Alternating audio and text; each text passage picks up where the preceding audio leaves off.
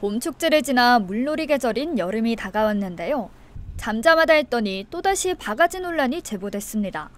지난 30일 한 온라인 커뮤니티에는 해수욕장에 바가지 요금 실태가 담긴 글이 올라왔는데요. 휴가를 맞아 해수욕장을 방문한 A씨는 그 앞 편의점에서 튜브를 대여해 놀다가 문제가 발생했다고 합니다. 바다에서 튜브를 타고 놀던 중 갑자기 펑 소리가 나더니 몸이 가라앉기 시작했다는데요.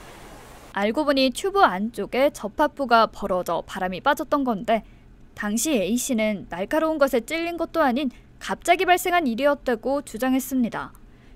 이후 편의점에 가 튜브 교환 요청을 한 A씨. 그런데 편의점 사장은 그쪽이 빌려가서 터진 거니 그쪽이 변상해야 한다며 교환은커녕 되레 변상을 요구했다는데요. 그러면서 작년에도 튜브 터졌다고 진상 피운 손님 아니냐며 진상 취급을 하더니 다른 사람들은 놀다가 튜브 터지면 다 변상해줬다고 말했다고 합니다.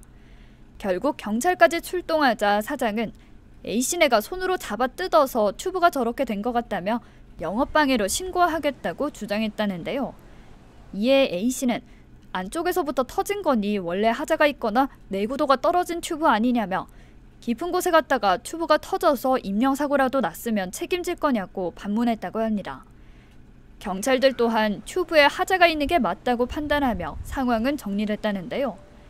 A씨는 해수욕장에 편의점 하나밖에 없다고 지금까지 얼마나 피서객들 등쳐먹었을지 황당하다며 다시는 안 가겠다고 분통을 터뜨렸습니다.